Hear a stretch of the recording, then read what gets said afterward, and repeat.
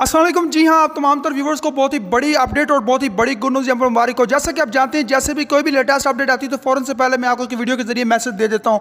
तो आज की वीडियो के अंदर मैं आपको बताने जा रहा हूँ वोकेशन के पॉइंट ऑफ़ व्यू से और एग्ज़ाम प्रमोशन कैंसिलेशन के ऊपर बहुत ही बड़ा फैसला यहाँ पर ले लिया गया, जो आज की वीडियो के अंदर मैं आपको बताने वाला हूँ। लेटेस्ट जो कॉन्फ्रेंस रखी गई, उसमें एनसीओसी की जानब से जो बड़ी अपडेट यहाँ पर आई है। आप जानते हैं एनसीओसी के ऊपर काफ़ी ज़्यादा ज़ोर दिया गया था और एनसीओसी की जानब से जैसे भी कोई अपडेट आनी थी, उसके बाद ही वफाकी वजी तलीम शाह महमूद ने एक फैसला लेना था। आज की वीडियो के अंदर जो फैसला सामने आया इस वीडियो के अंदर मैं आपको बताने वाला हूँ। वीडियो अगली बहुत ही इंपॉर्टेंट बहुत ही इंटरेस्टिंग बने जा रही है।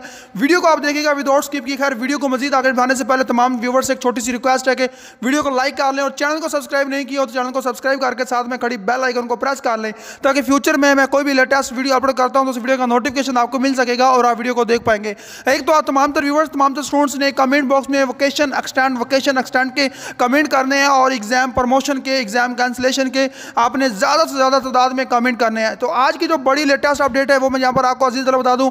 वफाकी वजी तलीम शब का महमूद की जानब से जो एक कॉन्फ्रेंस रखी गई थी, मैंने आपको कहा था कि आप थोड़ी देर इंतज़ार करें, थोड़ा ही आप वेट कर लें और जैसे भी कोई भी लेटेस्ट अपडेट आएगी तो फ़ौरन से पहले मैं आपको एक वीडियो के ज़रिए मैसेज दे दूँगा। तो मैं अज़ीज़ तलबा, आप तमाम तर व्यूवर्स तमाम तर स्टूडेंट्स के लिए एक अल्लाह तबारक वाली से दिल से दुआ करता हूँ कि आप अपनी ज़िंदगी की हर नई ख्वाहिश में सक्सेस हासिल करें और स्पेशली एग्ज़ाम में आपके एक ग्रेड प्लस मार्क्स लगाए जाए। आमीन आमीन सो आमीन। अभी जो लेटेस्ट अपडेट यहाँ पर आई है एग्ज़ाम प्रमोशन के पॉइंट से, यहाँ पर कुछ क्लासेस का बताया गया है कि इन बच्चों को प्रमोट किया जाएगा, लेकिन बाकी क्लासेज जो हैं, उन्हें प्रमोट नहीं किया जाएगा, उनकी प्रमोशन नहीं होगी।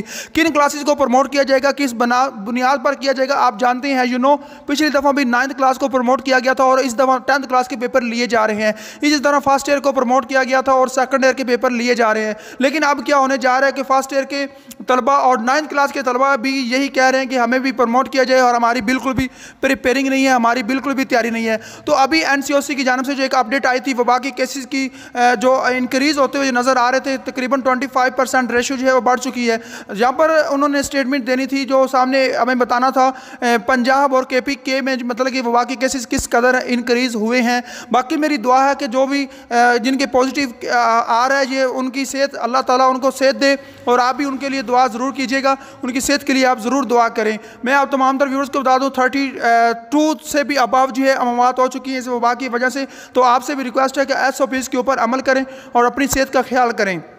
तो मैं आप तमाम तर व्यूवर्स तमाम तर स्टूडेंट्स को यहाँ पर क्लियर और वाजे बता चलो नोटिफिकेशन के मुताबिक आज की डेट में अभी पहले ये ऐसा नहीं होना था, लेकिन आज की डेट में ये वाजे एक बात सामने आई है। पहले ऐसी मीटिंग भी नहीं रखी जानी थी, क्योंकि वाकई वजी तलीम शफ़ महमूद ने कहा था कि हम पेपर लेंगे, तलबा को हरगिज़ प्रमोट नहीं करेंगे, किसी कदर भी प्रमोट नहीं करेंगे।